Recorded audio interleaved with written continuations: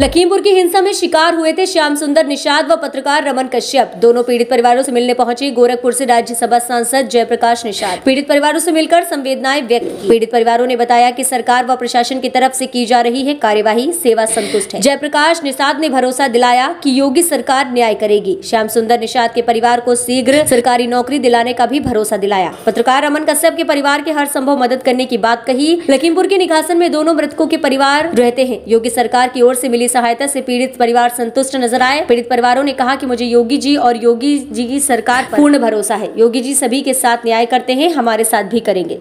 सांसद जी पत्रकार साथी जो हमारे थे उनकी हिंसा में मौत हुई थी उनके परिवार से मिलने आए हैं। क्या आश्वासन देते हैं? देखिए एक पत्रकार और मीडिया एक तीसरी स्तंभ है चौथी स्तंभ है हिंदुस्तान की।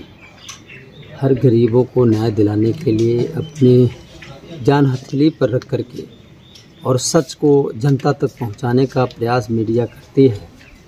ये बड़ा दुखद है कि उनका इस हिंसा में निधन हुआ है।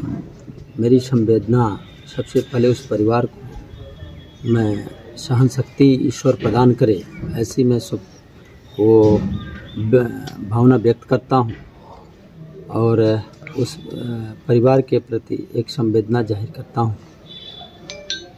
और मैं ये ज़रूर कहूँगा कि आप देख लीजिए, उत्तर प्रदेश की सरकार परम योगी आदित्यनाथ महाराज जी, हमेशा न्यायप्रिय रहे हैं। और चाहे गरीब, आम जनमानस हो, किसान हो, चाहे नौजवान हो, चाहे गरीब हो, अमीर हो, चाहे पत्रकार हो, चाहे शासन, प्रशासन के लोग हों, सबके प्रति उनकी एक जैसी भावना है, किसी के साथ न्याय न्याय नहीं होना चाहिए।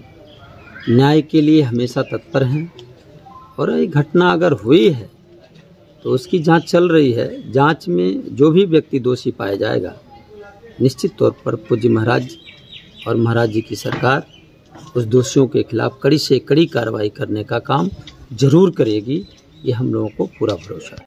सांसद जी आपसे मुलाकात करने आए हैं। अभी तक शासन प्रशासन की तरफ़ से जो आपकी मदद की जा रही है, आप संतुष्ट हैं उससे या उत्तर प्रदेश सरकार से या माननीय सांसद से कोई मांग करते हैं? नहीं सर, संतुष्ट है, मांग हमारी यही है कि हमको न्याय मिले, बस।